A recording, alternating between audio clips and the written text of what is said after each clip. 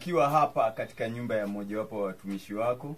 As you have called her to care for your sheep, na jinsi ulivyomwita ili aweze kutunza kondoo wako. Your very people. watu wako. We pray your divine windows of heaven. Kwa hiyo tunaombea upako wako na milango na madirisha ya kimbingu. To open up over this house, kufunguka kwa nyumba hii. Open up over this community, kufunguka kwa ajili ya jamii hii. And over all the people.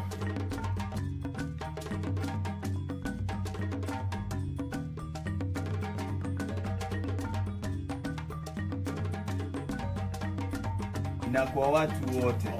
Father, give your special grace. Baba wape neema ya pekee from the riches of glory in Christ. kutoka katika utajiri wa utukufu wa yesu kristo.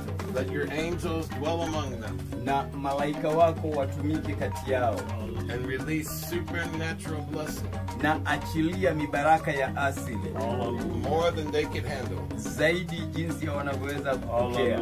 We believe it through the mighty name of the Lord Jesus. na tunaamini katika jina la utukufu la yesu kristo We give you praise, Father.